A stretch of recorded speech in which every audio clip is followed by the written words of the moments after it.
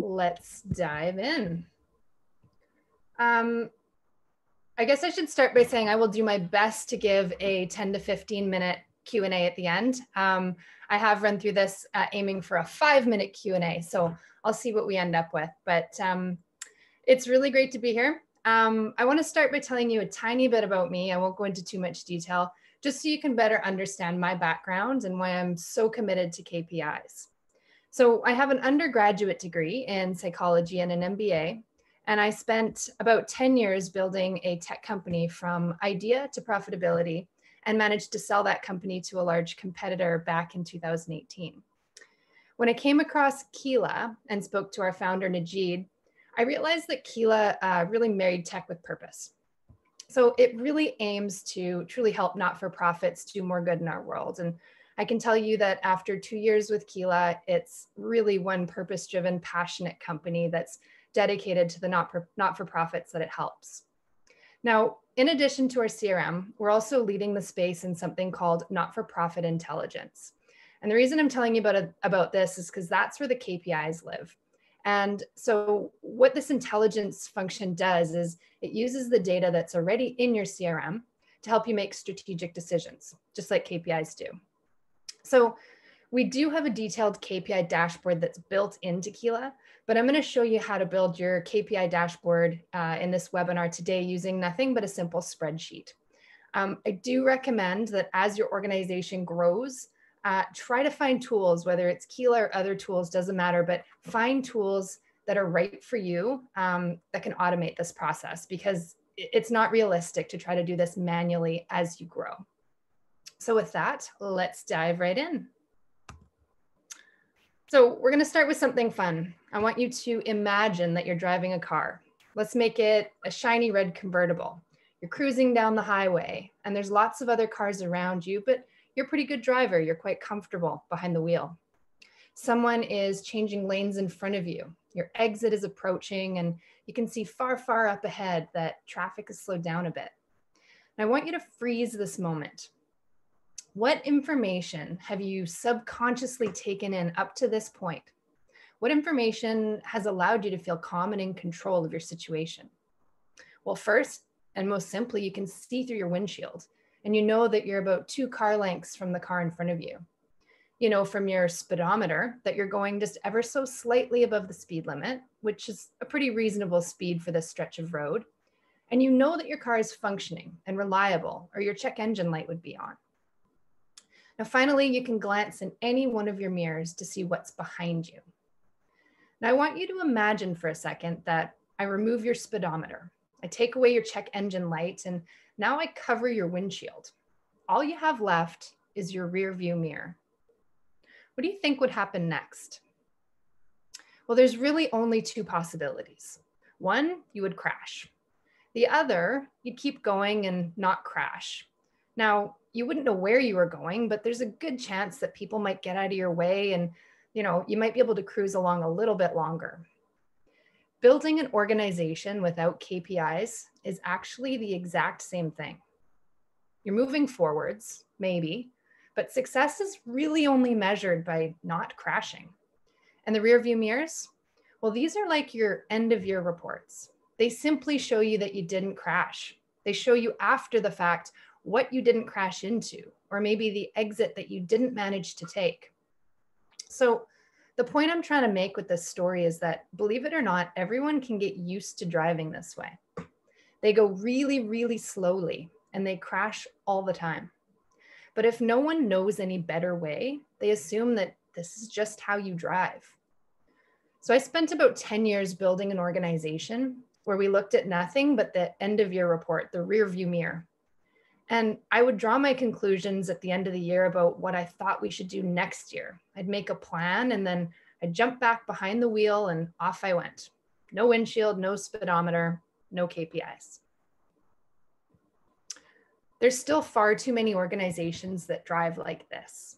They use nothing but their gut feelings to guide them day to day and week to week. And then they look at their end of year report to look back at their results for a year that's now over they don't know how they really did until that end of year report is finalized. Now, I recognize that some things may be measured along the way. Like perhaps you're measuring donations received to date or something like number of donors in the in your database.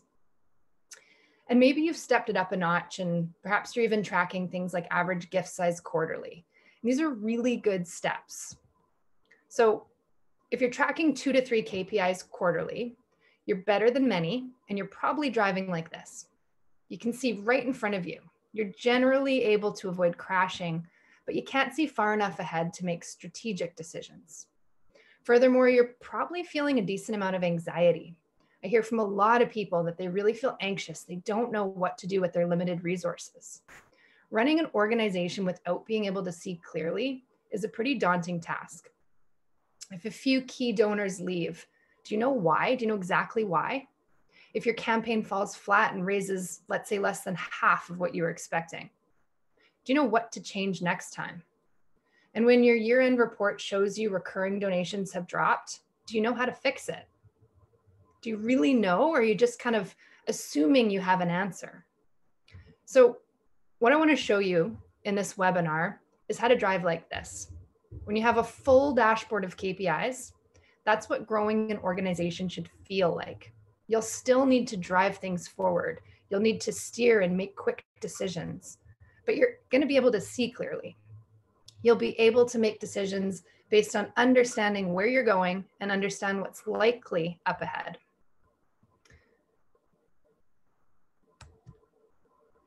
So if my driving metaphor has left you with any conclusion, I hope that it's that KPIs are really important. so let's take a step back and, and look at what they are and how you can use them to make your life easier and your organization stronger. So KPI simply stands for key performance indicator. It could also be called a measure, a metric, or simply a number that stands for something. It's a measure of some part of your organization that tells you something over time. Now, the part of KPI that I want to really focus on is this word key. If you measure everything, you're actually only mildly better off than if you measure nothing at all. Too much data can create noise and you won't know what to focus on or why. When you design your KPI dashboard, it's critical that you choose your KPIs based on what you want to measure and that you understand exactly why that metric's important. So I like to think of it as three main buckets, okay? So you're going to figure, you're going to pull some KPIs out of each bucket and you're going to build your dashboard. So we've got KPIs that your board wants to track. Perhaps this is average gift size, donor lifetime value, or something obscure and unusual.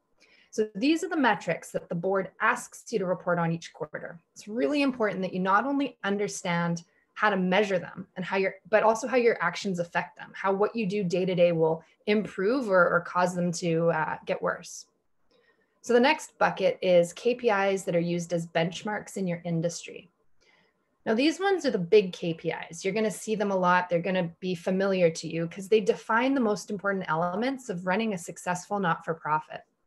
So, some examples here are things like donor retention rate and donation growth rate, and perhaps open rate if you're using email as your main source of communication. Now, finally, we have management KPIs. And these are the ones that are often neglected and the ones that we're going to focus on for the purpose of today's webinar. So these are KPIs that you you determine are important for you and your team and your organization to understand what the impact your initiatives day to day, week to week are having. So these are usually leading indicators, while your board and benchmark KPIs are often lagging indicators. And if that's totally Greek to you, I will touch on that in a little bit. So one kind of thought to leave you with before we get to the next section is it's probably not totally intuitive, but consistency in KPIs matters even more than accuracy. Now, I want to be clear, and I don't want you to misunderstand what I'm saying because if your metrics are not accurate, you're not going to trust them and you're definitely not going to use them. But if you know that they're pretty close to accurate or as accurate as they can be, then it's far more important that you are consistent in the way you measure. I'll tell you why. You'll be looking at trends over time. And the most dangerous thing you can do is shift the way you measure month after month in an attempt to be slightly more accurate. because what you're actually going to do is collect pretty meaningless data. So remember, be as accurate as you can be, but then be insanely consistent in how you measure it. So let's walk through some examples of nonprofit KPIs. Now, there are quite literally millions of KPIs that you could choose to measure. So where do you even begin? How do you choose? Well, I recommend selecting a few common KPIs. You've got some here in this list. And then you can add specific KPIs that really are relevant to your organization and what you're trying to do. And from there, you simply begin measuring. And as soon as you start to understand your metrics and see how they move and the volatility and what affects them, you're going to start to see a need for new measures. You're going to start to see where the holes are. You're also going to quickly start to see which metrics don't need to be measured at all because they're not going to show you what you thought they had measured. It's amazing. Once you start using this, you will start to get familiar and it'll be really clear what to do next. So if you've ever been told to just jump in and start, this is really one of those initiatives. KPIs will make more and more sense the more you measure them, watch them, and discuss them. So starting really can be the hardest part with this. I'm going to walk through five KPIs, starting with this one. And it's not because they're the best KPIs, it's quite simply because each one is a different type of KPI. And I want you to understand the different types. So the first one we have is total funds raised. Now, this is simply a count of dollars raised. Easy. Most people track this regardless. Next, we have donation growth rate. This is the rate at which your donations grow. It could be month over month. It's probably more likely year over year. Now, like I said, for this webinar, we want to focus on shorter term metrics to avoid looking uh, backwards at the year behind you. So what could we measure that really shows us valuable month over month growth rates?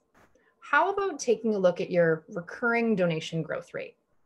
So rather than total donation growth rate, which can be really volatile and up and down and doesn't necessarily tell you much, your recurring gifts build month over month as people join the program. And because of this, there's far less volatility. It's going to be a slow and steady growth rate. So keep donation growth rate at your year in your year end report because you'll need to know your total donation growth rate. But consider adding recurring donation growth rate to your weekly or monthly dashboard. And there's a reason I'm going into this much detail on things like this. It's because I really want you to understand how to make decisions about your KPIs, how to choose the correct ones for your organization, and then how to manipulate the KPI. So it measures exactly what you need to see to make the decisions you need to make. Next, we have fundraising ROI, which simply stands for return on investment.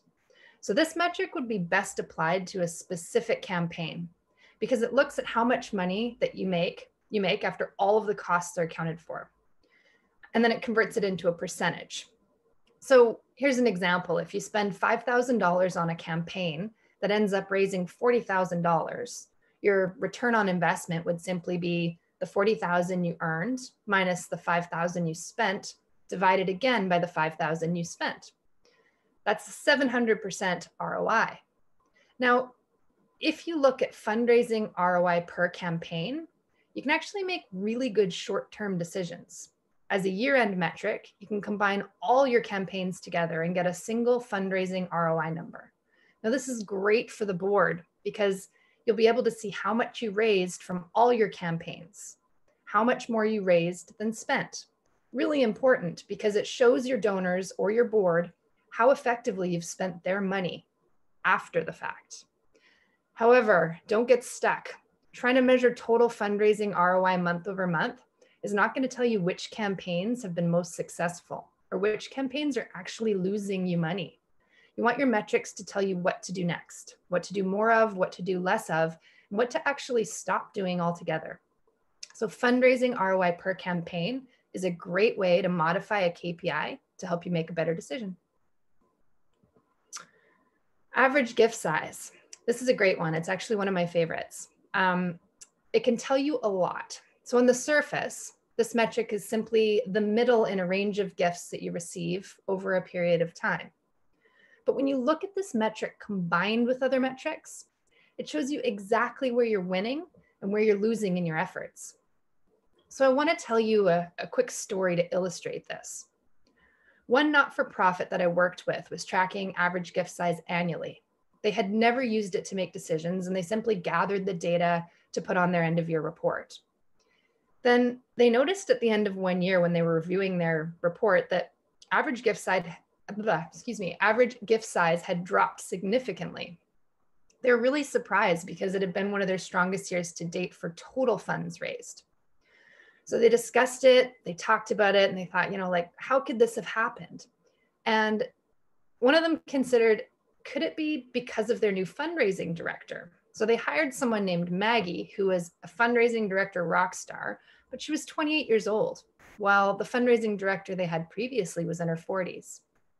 They took a look at the campaigns and the events that they had run, and th- what they realized was that all of the campaigns were hugely successful, but they were attracting a really different demographic of donor.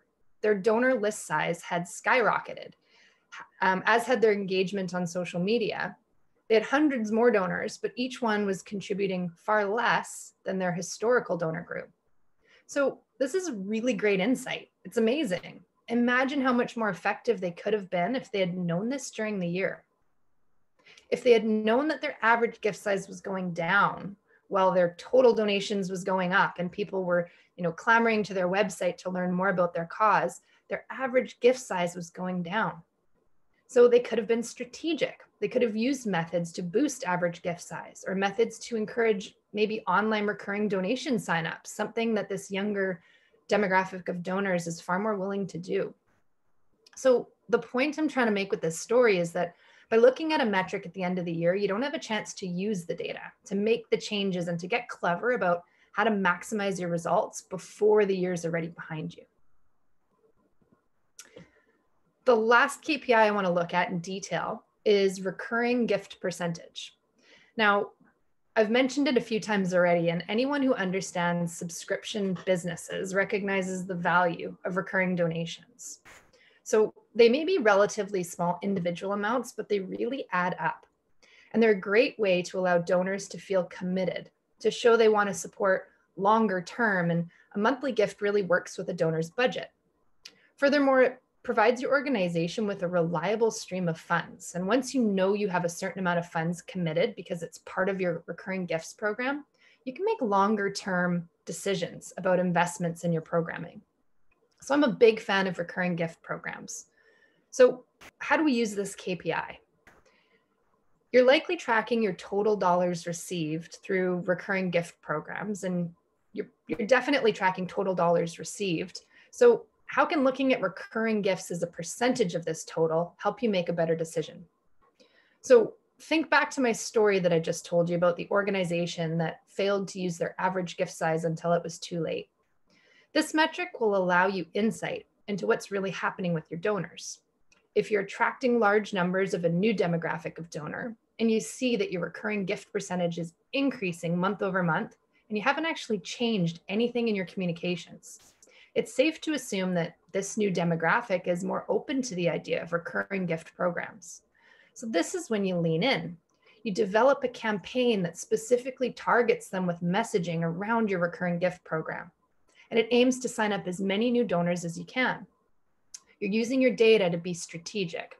And I just found out that um, recurring donors actually have 90% retention rate. So it's the highest rate out of all donors. It's a really, really valuable thing to set up if you don't have one. Now, as I said, there's a reason I chose the KPIs I did in that example of five. And it's because each one is a different type. So let's quickly walk through these kinds of KPIs or types of KPIs because you're going to be using them and adding your own and creating your own. So the first one is simply a count, right? A count of dollars raised. Then we have donation growth rate, which is a rate. Now, a rate of donations changing over time. Um, it's simply any rate compares one measure per unit to something else. Next, we have fundraising ROI, which is a return on investment. And this always looks at the ratio between net profit and cost, how much you made, how much you spent. Now, you can technically calculate an ROI on anything that you spend money or time on. assuming that you can convert your time to dollars, which generally we can these days with salaries or hourly wages. Average gift size. This is an average or a typical figure in a data set. And finally, we've got recurring gift percentage, and it's a percentage of something else or a proportion of the whole.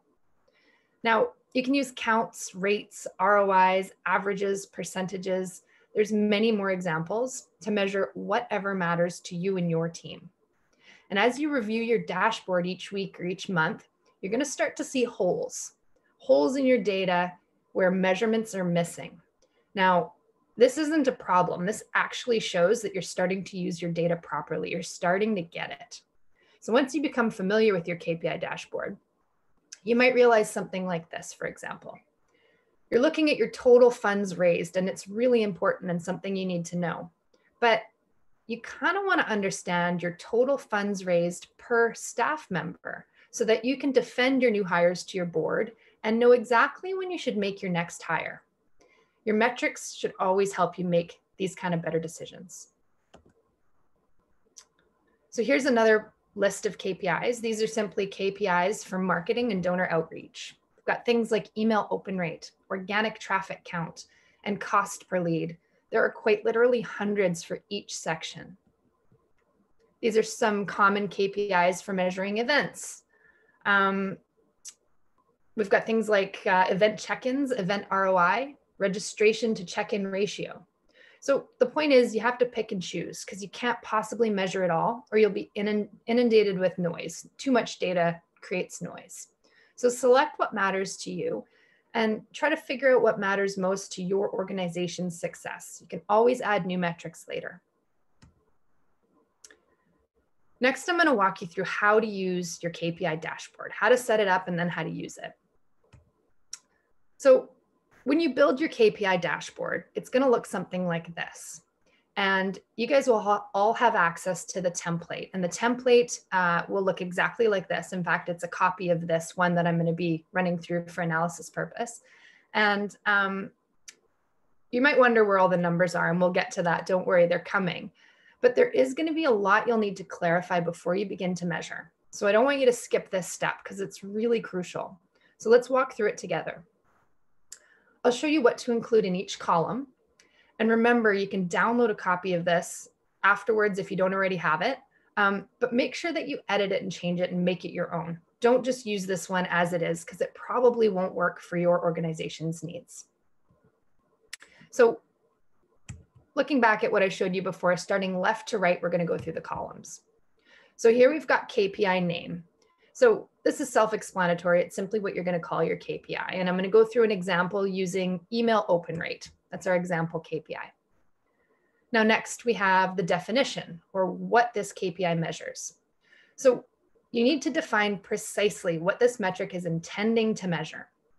In this case for email open rate, it's measuring the percentage of email recipients who open a given email. Again, pretty simple.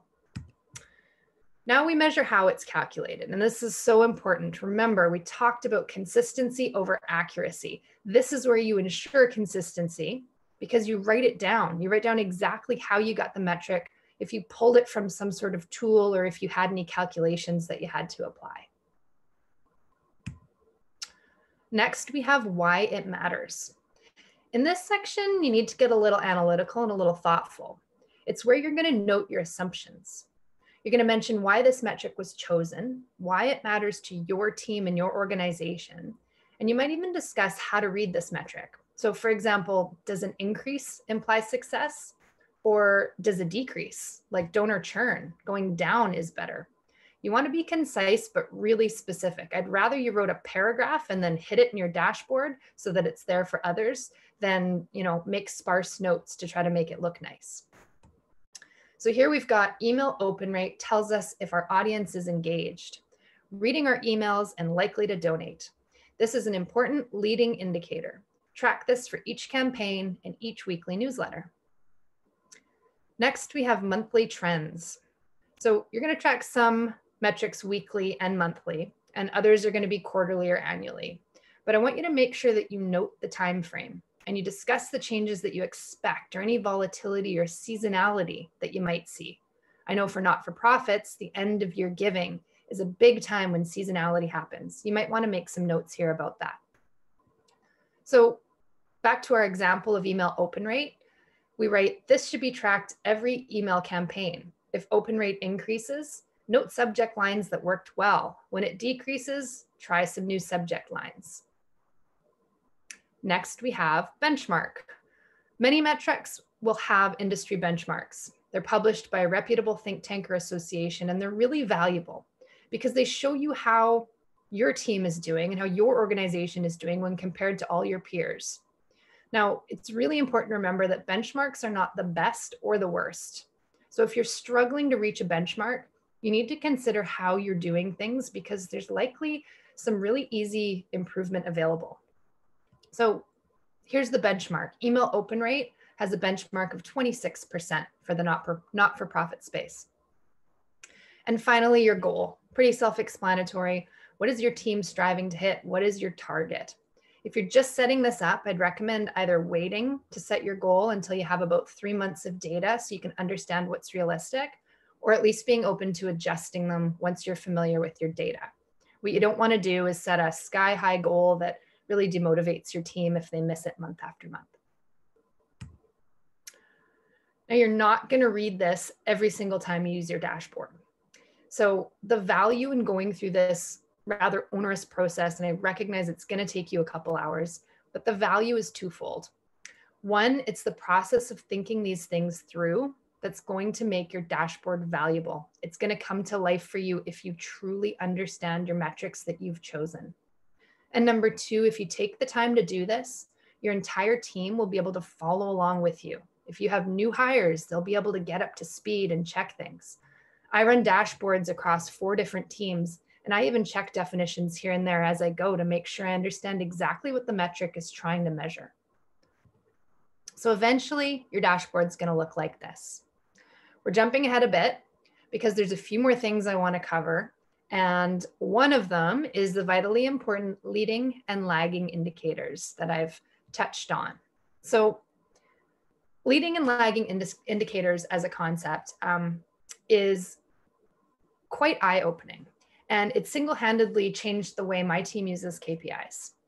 So, the framework considers every KPI and whether it's a leading or lagging indicator. And it follows this idea that some metrics tell you where you're going and others tell you where you've been. Some help you look forwards, and others, by definition, are always going to be looking backwards.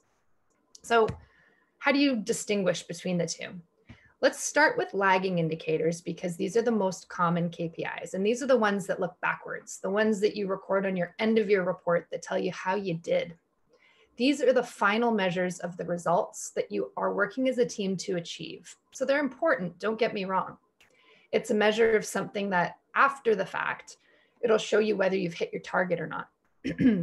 now, lagging indicators should measure your major organizational goals. And this is key. So your organization probably has some very um, clear impact goals that they're trying to hit lagging indicators would be in line with some of your impact goals. They might also be your fundraising goals, something that allows you to make your impact. You should, however, have fewer lagging indicators than leading indicators. For example, total funds raised would be a common lagging indicator, assuming that your organization is fundraising. And I'll talk to that in a second because I want to touch on impact metrics. There's many metrics of impact, and they can be developed depending on your programs um, that you choose and your impact areas. The challenge is these are very varied and they really rely on your organization's clear understanding of the outputs, the outcomes, and the impact you're trying to achieve. And it really is beyond the scope of this webinar because it is such an involved and important process if you want to get it right.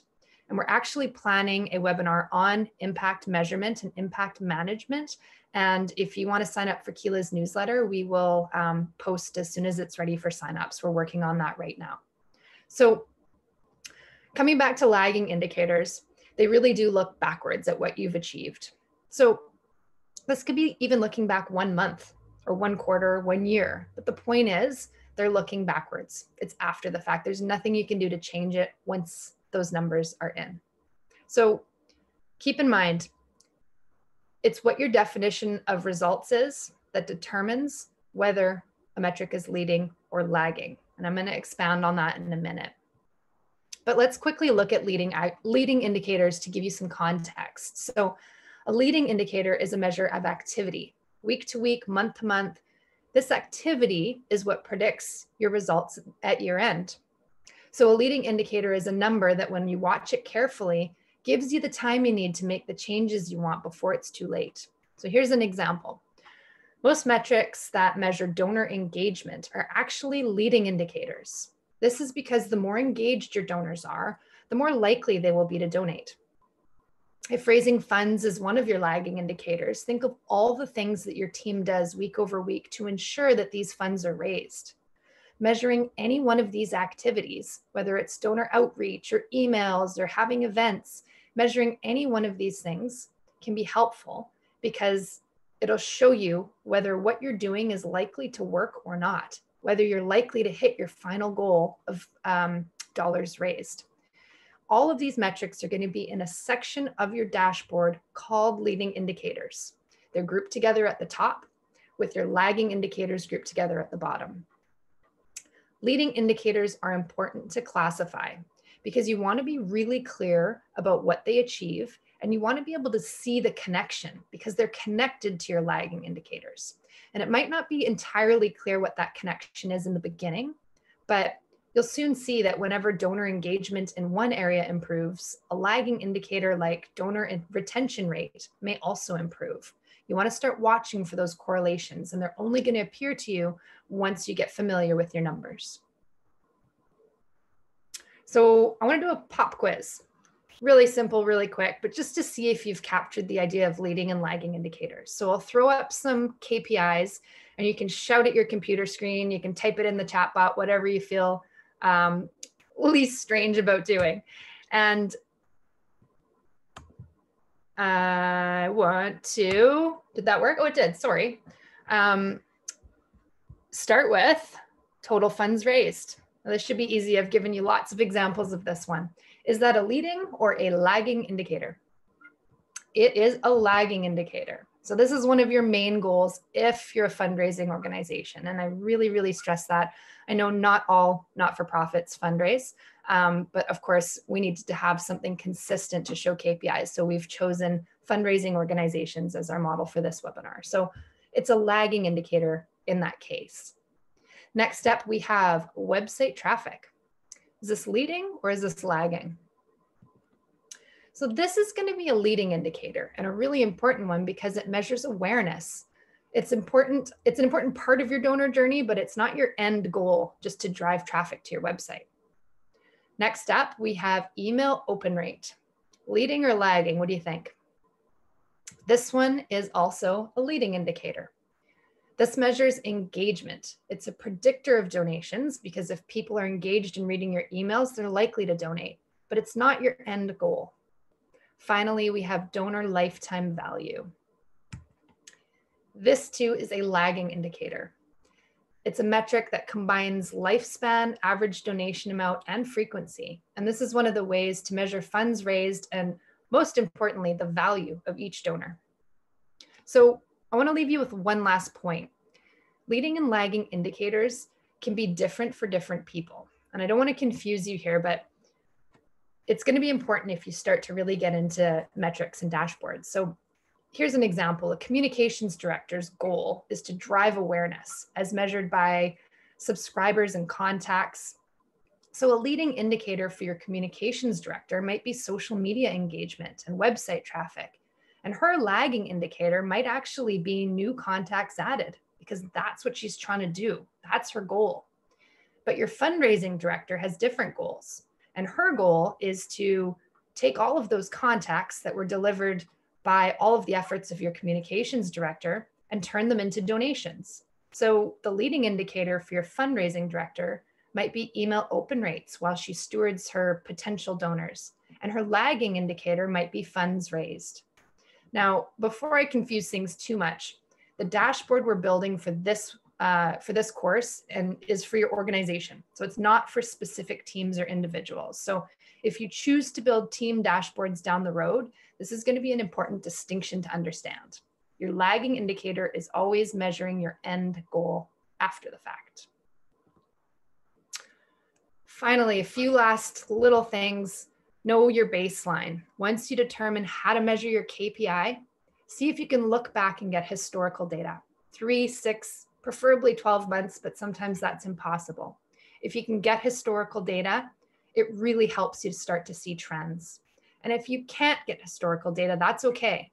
It's just going to take you a little longer to really see the value of your dashboard. So be committed to about three months, um, three months of this. Consider before you start each KPI. What's the right time frame to measure this over?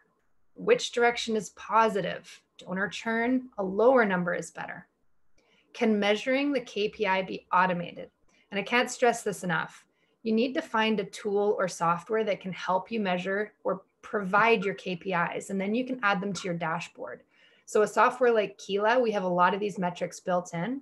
But for example, if you have a website, Google Analytics is great. It can give you lots of data, and it gives you the data you need to start measuring and creating your KPIs. And number four, are you committed to doing this for at least three months? So, your trends are not going to appear immediately. You're going to need at least three months um, unless you have that reliable historical data available. So plan to stick with it at least that long. It can feel like an eternity, but I assure you it'll be worth it. So next up, we're going to actually run a dashboard analysis. So I'm going to take you through a dashboard with data in it, and I'm going to show you how I might run um, a review meeting with my team. And it just gives you an understanding of how to do analysis and what things to dig into and, and how it really helps showcase um, what decisions to make next. So I'm actually going to switch over and use my screen over here. And it's a much larger screen. So I apologize if you're looking at this huge um, metrics dashboard on a tiny screen, it can definitely help having a larger second screen. So I will begin as if I'm doing a, a, normal analysis and this is the first time I've seen this dashboard and I wanna see what decisions I can pull out of it. So we'll start at the top. These are gonna be our leading indicators to start. So let's look at website traffic. This is the total unique visitors that come to our website. Now, you can see here, moving right over, we have a goal of 10,000 visitors to our website each month. You can see in January, February, and March, we had around 4,000, 4,300, give or take. And then in April, it jumped up to 6,500. Well, isn't that interesting? 6,000, 6,000 kind of holds steady. And then something happens again in August and it jumps up to 7,900 or just under. So I'd be curious. I'd say, hey, team, what did we do in April and what did we do in August? Because obviously it had great impact on our ability to drive traffic to our website. I might make some notes on what happened and make sure that we understand that next time, if we have an event, which the team tells me we did, we had an event in April and we had an event in August. Well, these events are very effective in driving awareness. So let's make sure for our next event, we make website traffic uh, part of our goal and we see how we can do it even better and more consciously. So the next metric is email open rate. And this is the percentage of email recipients who open a given email. And you can see here we've got a benchmark, an industry average of 26% email open rate. That's great. We think we can do even better. So we've set our internal goal at 30%. Let's see how we've done. I'm looking through January, February, and March, and this is really discouraging. We're not even close to the industry average benchmark. But then we jump up in April, quite a significant jump to 22, 25, 26. Wow, something sure changed. And you know what? It seems to kind of align with our website traffic. This is interesting. Now, moving down to the next metric, we see email click rate. And this is the percentage of recipients who clicked on a link in our email out of those that opened it. So they open it and then they actually interact with the content in the email. So we've got a benchmark of 13% and a goal of 13%. Now, looking at our historical data, I think having our goal at 13 is, is okay because we are way below. Again, 9, 11, 8%. But then again, something happens in April. So I say to the team, what happened in April? Because all of our email marketing metrics seem to really jump. We're doing something differently as far as our digital presence. presence. What is it? And they said, well, that's when we hired Maggie.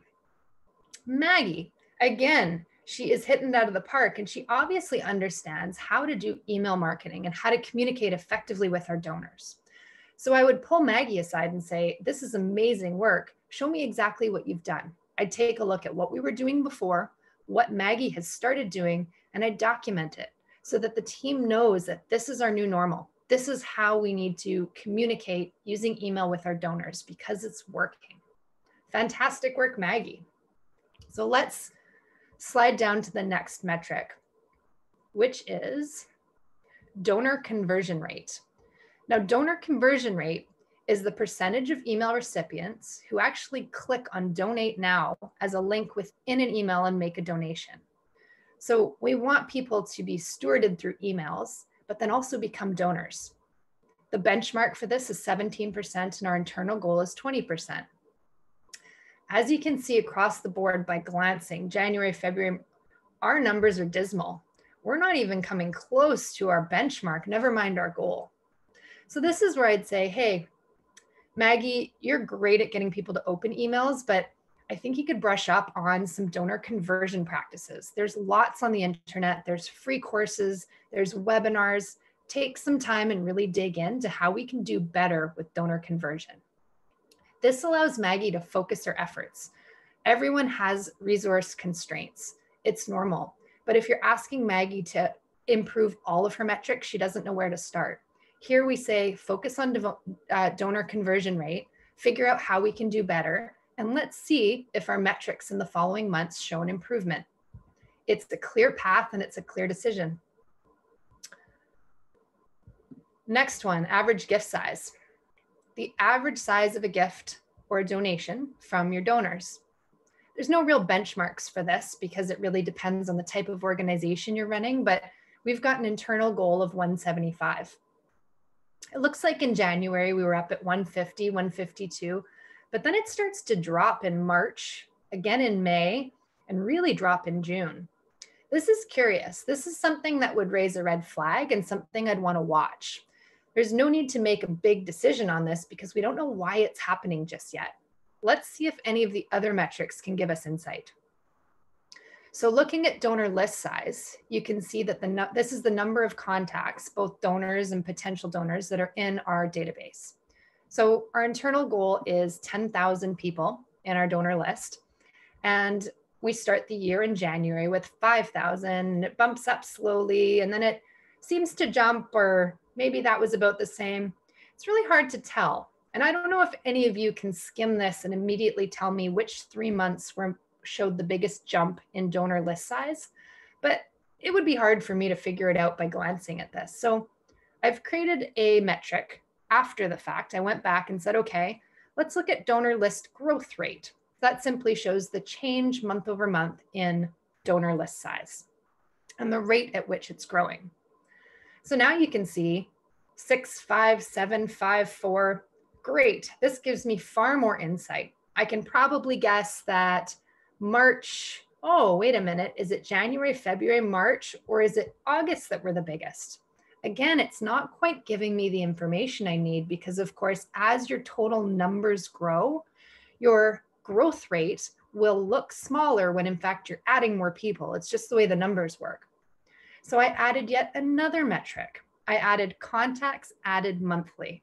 And this simply shows me how many individual new contacts I have added to my list. And this is still donor list. This is the same list each month. Now I can quickly look at this, skim through and say, okay, what did we do in March and what did we do in August? Because it really worked. We added a lot of contacts to our list. I would actually probably get rid of row 13, donor list growth rate altogether, because it doesn't show me what I need to see. And I'd probably keep donor list size as a total because th this will help me understand how many people I'm communicating with.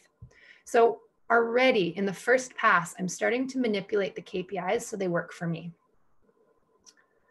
Now, moving down to recurring donation growth rate, we've talked a lot about this on this webinar, and this is the rate of growth in funds from recurring donation programs only.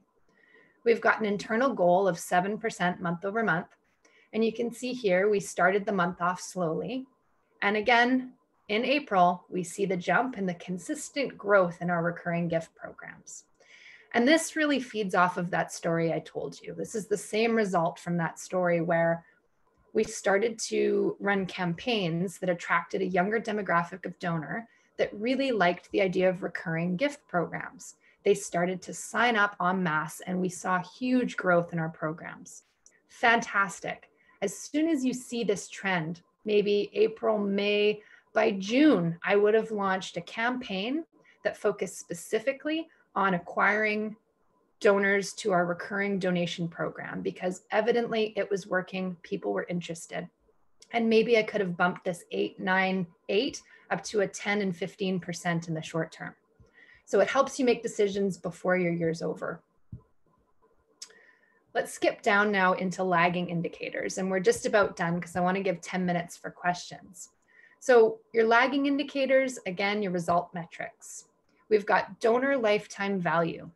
Now I've broken this one out into a segment and I'll tell you why, because donor lifetime value as a total is really valuable. It shows you how much revenue a single donor is likely to generate from the moment they first donate to the time they lapse. But it's really hard to treat all your donors the same. Some are going to be small time donors that give you 20, 30, 50 dollars a time and others might give you 500 or 5000 every time they donate. You really wouldn't approach them with the same ask or the same stewardship. So, segmenting your donor lifetime value and working with each segment of donors to help grow that lifetime value, which average gift size is a part of the formula for, is going to help you be more specific in how you use your resources and who you target. So here we're looking at how the donor lifetime value changes for our under 100 segment.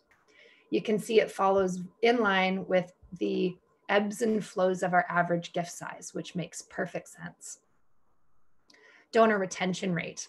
This is an important one, a really important one. This is the percentage of donors who give to your organization one year and then give again the next year if I would say pick one that's really critical, it would be this one. It's much less expensive to get a donor to give again than it is to acquire new donors. So I'll show you here the benchmark is at 25% industry wide. We've set an internal goal of 30%. And as I skim through these numbers from January to September, we are doing amazingly well. Donor retention rate is our strength. We are great at it as an organization. So, what this tells me is figure out what we're doing, make sure we're conscious of what we're doing, and don't change a thing. Don't focus on this. The fact is, we don't have endless resources. Let's focus on what we can actually affect positive change in. And we're already hitting 48% donor retention rate. Let's just keep doing what we're doing and save our resources for other parts of our organization. Now, for the last two metrics, we're going to talk about them together because these are the most common. And this is total funds raised monthly and total funds raised cumulatively. And I'm just going to quickly outline the power of understanding your total funds raised monthly because it helps you forecast. I can look at the last three months, July, August, and September, and understand that we're averaging around $70,000 in revenue per month. I know what that's likely to add to my end of year um, revenue for the final quarter. It's around 215,000.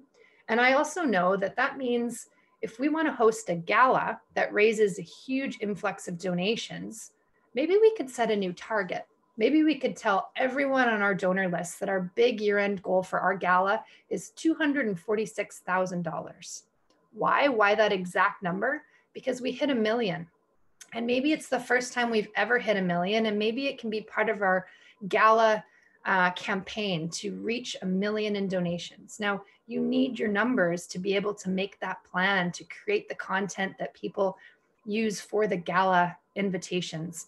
So, it might seem simple, but understanding that ahead of time lets you create a target and a goal that your entire community of donors can rally around. So it's very effective. So that takes us to the last KPI. And I hope that gives you a really nice understanding of how to use this dashboard effectively. And please change it. The way you do that is you copy and paste this and create your own version. You can't have access to this one, otherwise, it would change it for everyone else. But copy, paste it, make it your own, do what you need. Um, I also will have a huge database of around 40 KPIs with lots of information that I can send you after the fact.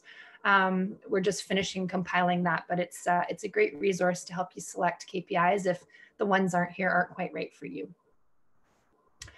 So with that, I would like to open it up if anyone does have any questions.